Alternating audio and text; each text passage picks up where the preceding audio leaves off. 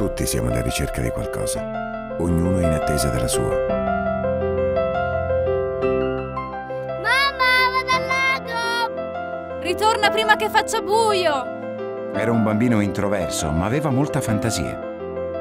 Non aveva tanti amici, ma di certo ne aveva uno speciale. Lo sai, specchio, oggi io e Chuck abbiamo corso tutto il tempo nel giardino. Ok, ora va meglio. Ma che gli succede? Io proprio non capisco. Credevo che questo suo malessere fosse passeggero, ed invece... Se piangere ti fa stare meglio, allora fallo.